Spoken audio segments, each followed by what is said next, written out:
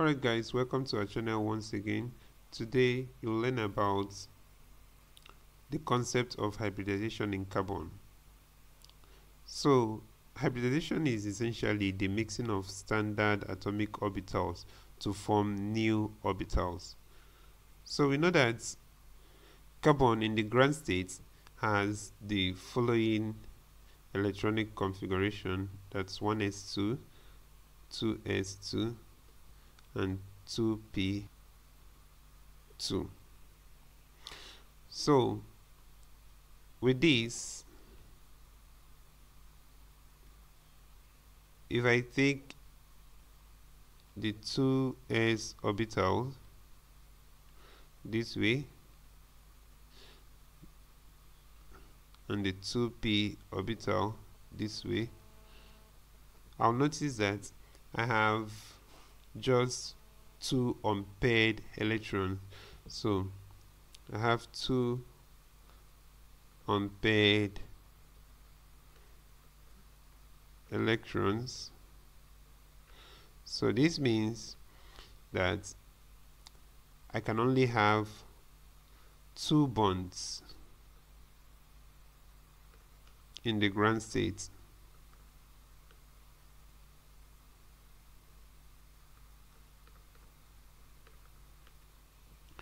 But then we know that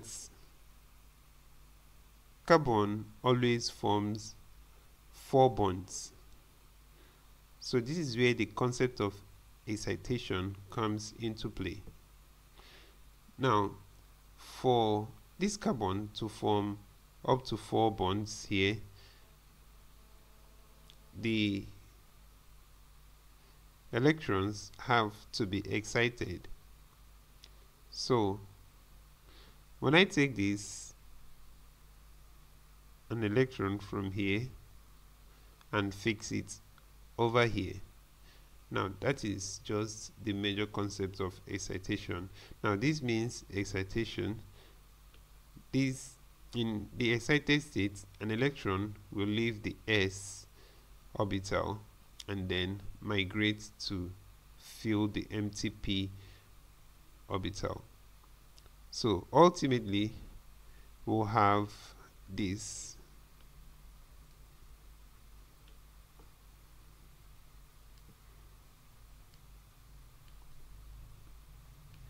Where I have the 2s orbital and I have the 2p orbital. So notice that the remaining one electron here migrated from here to fill up this empty p orbital. So this this is a process of excitation.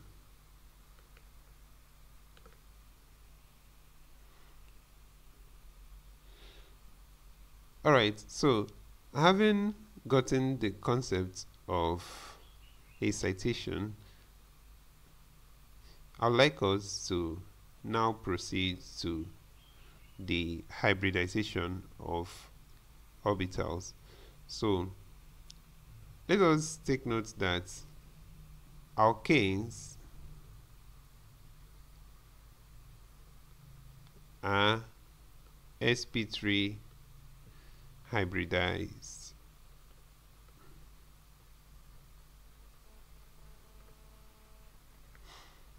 Alkenes, on the other hand, uh, sp2 hybridized. While alkynes are sp hybridized. Alright so having gotten these concepts let's look at the hybridization of alkanes so basically if we have this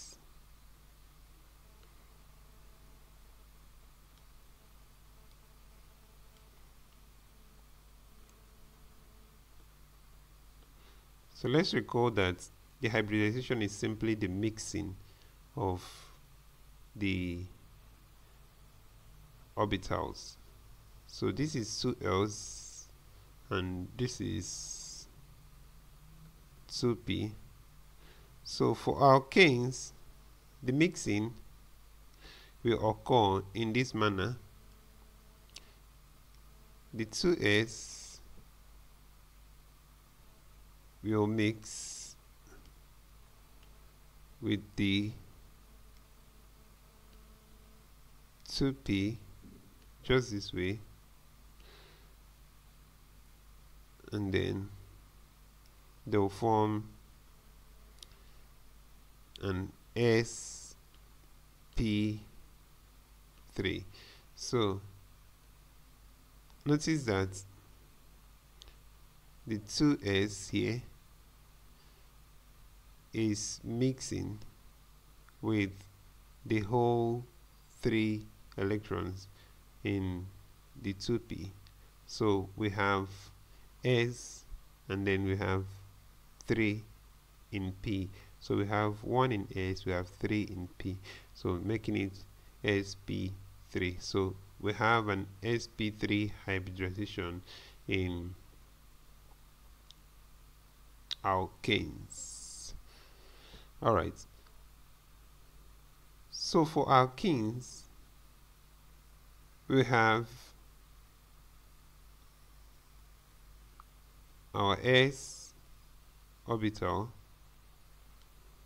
here and we have our p orbital here. So mixing occurs in such a way that the S here mixes with two of the P. So we have one P left aside. So this gives us S P2 because these two will mix with this S. So we have SP2 so the whole of this is a sigma bond. And then we have the remaining 2p so this is 2pz and this gives a pi bond.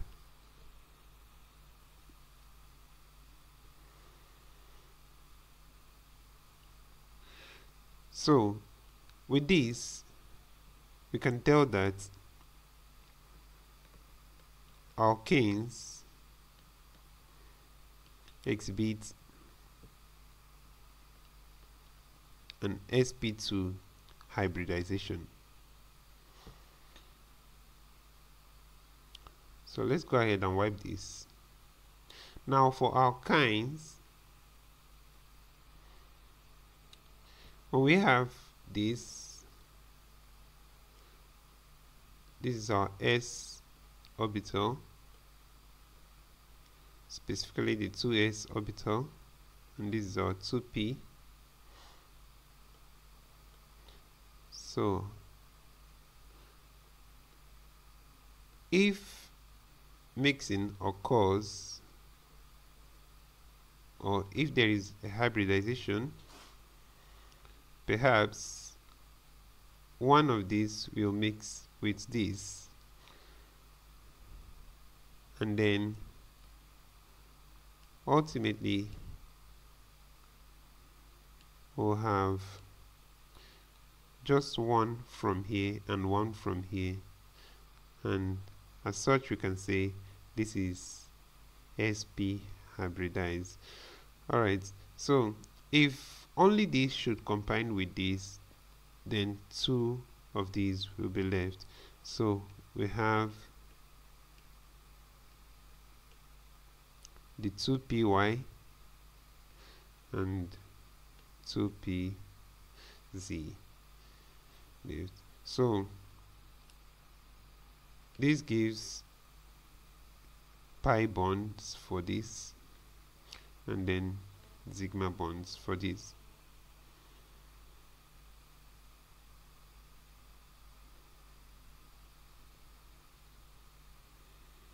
So with this we can tell that alkynes are sp hybridized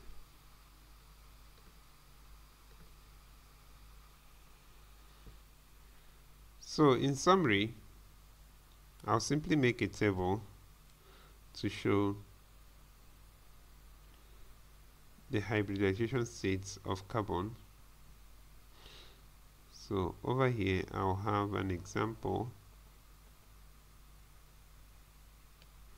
So over here I'll have number of bonds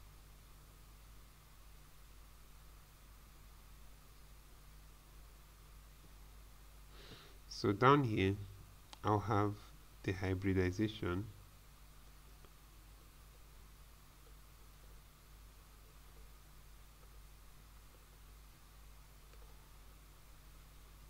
And then lastly I'll have the shape.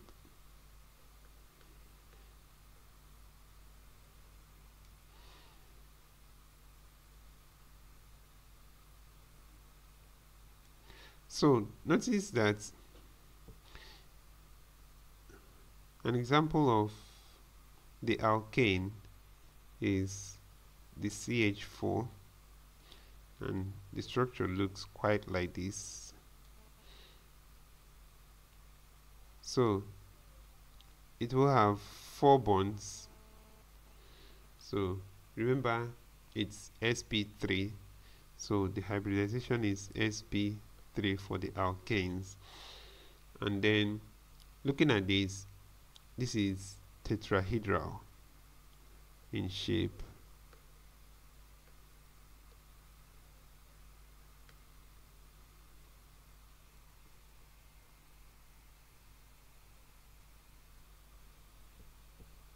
So next I'll have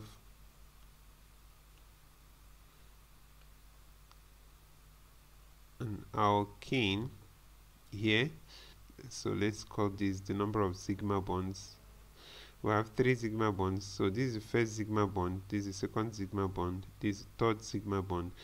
This over here is a pi bond. So this is sigma this is sigma this is sigma. So if it's a double bond now this over here will be a pi. So I have just three sigma bonds.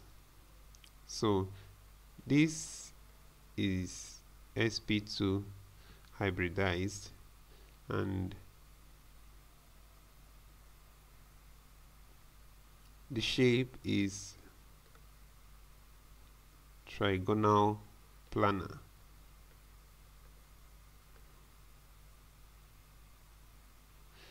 All right.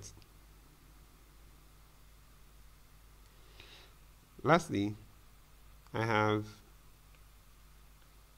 either of these or these. So notice that I have a sigma bond here. I have a sigma bond here. That's 2 whereas this is pi and this is also pi. So this is a sigma bond. This is a sigma bond the additional bond here is pi. So you notice this will yield just two sigma bonds. This will also yield just two sigma bonds. So I have two sigma bonds here and this is sp hybridized. And what's the shape? The shape is linear